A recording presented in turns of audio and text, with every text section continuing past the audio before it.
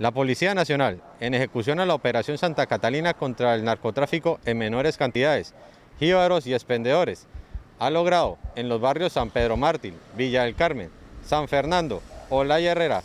San José los Campanos, San José Obrero, Nuevo Paraíso, La Rosera, la captura de 28 personas por, en flagrancia y la captura por orden judicial por los delitos de tráfico de estupefacientes y violaciones a las medidas sanitarias, donde se ha logrado la incautación de 2.202 dosis de marihuana, 515 dosis de base de coca, 303 dosis de cocaína, 95 dosis de bazuco y 30 pastillas sintéticas.